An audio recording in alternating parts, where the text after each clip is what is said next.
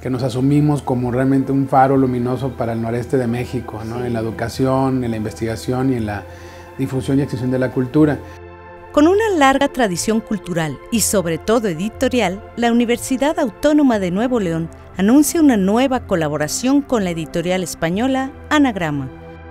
Desde 2007 se estableció una, alianza muy, muy provechosa, se tendió un puente hacia, hacia el otro lado del Atlántico con la editorial Anagrama de España, con sede en Barcelona, y muy particularmente eh, con Jorge Ralde, su director y fundador, y se estableció eh, la cátedra Anagrama como un programa de fomento a, los valores literarios contemporáneos y muy particularmente pues, en los autores de Anagrama. Por Monterrey participaron eh, todos los escritores mexicanos que han publicado en Anagrama, Sergio Pitol, Carlos Monsiváis y Daniel Sada, Margot Glantz, eh, en fin, los autores mexicanos y también autores latinoamericanos y españoles.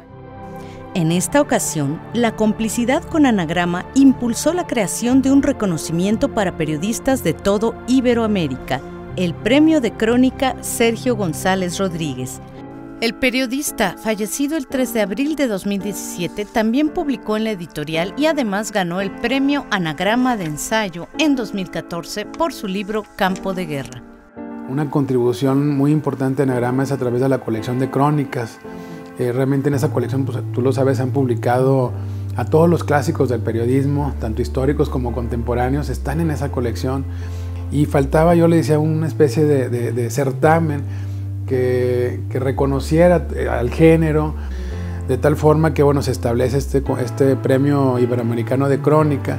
Ya está abierta la convocatoria, la convocatoria cierra el 30 de junio y realmente pues invitamos a todos los escritores y periodistas cronistas iberoamericanos, es decir, de, España y, de todo el continente americano, a que presenten un trabajo, un libro inédito de crónicas, ya sea una sola crónica o un conjunto de crónicas.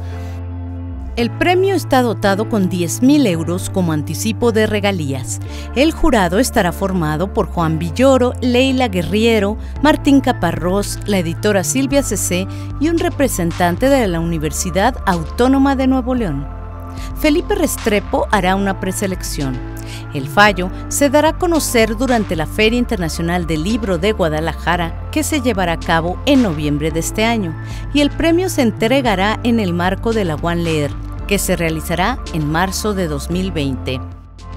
En nuestro, eh, digamos, en nuestro continente latinoamericano particularmente, existe una tradición histórica muy rica de la crónica, ¿no? existe una tradición muy rica, pero particularmente yo creo que en los últimos 30 años se ha dado una especie de boom de la crónica.